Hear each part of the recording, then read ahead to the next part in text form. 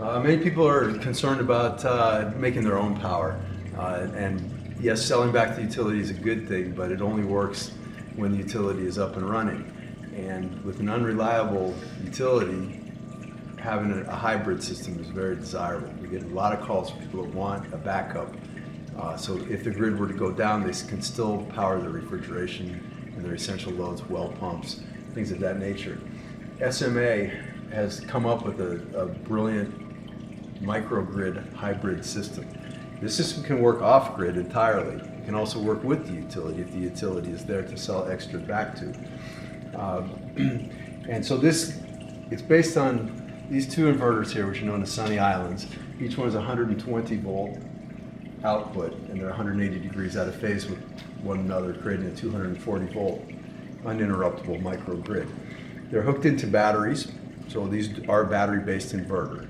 So 24/7, they are uh, power producers.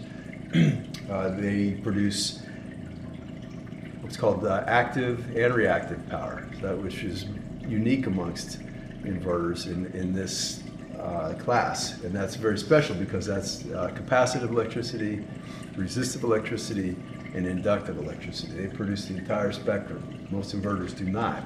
Uh, they can AC couple to a standard SMA Sunny Boy inverter. Uh, these are mass produced here in California and they're very reliable transformerless inverter. We use these all the time. But these do not work if the utility grid goes down. But when they're AC coupled to the output of these inverters, then they do continue to work. And the charging of the battery goes from solar panels to a Sunny Boy inverter to the Sunny Islands and then to the batteries. You don't use a charge controller.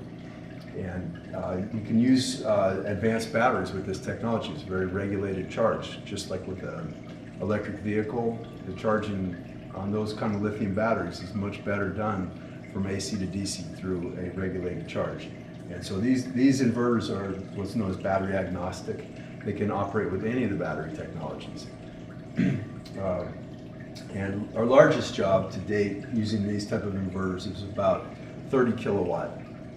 It's a combined 12, 12 kilowatt, 6 plus 6 plus 18 kilowatts of Sunny Boy inverters. So that's about 125 amp service off grid. So that's what's required to run, you know, a big custom house with pool and well pump and booster pump and septic pump.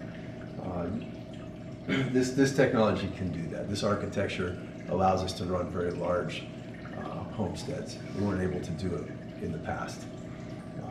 Uh, part of the beauty is that the homes using alternating current, these inverters produce alternating current.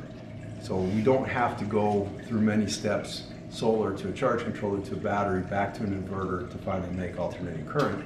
We go solar to a, a string inverter, now we're making alternating current in the off-grid world.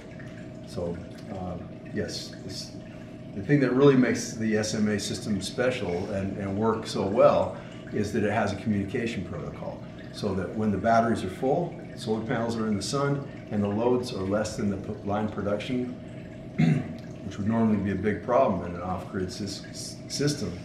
The Sunny Web Box is the brain of, of, the system, and it's able to manage that power. And the Sunny Boy inverters can throttle back, force the solar panels to work closer to their open circuit voltage, produce less power until a compressor, or pump, some other load comes on to balance. And then immediately the power that's produced from the solar panels is allowed to come into the system. So it, it has that communication protocol, it, it has that control system. None of the other manufacturers have that.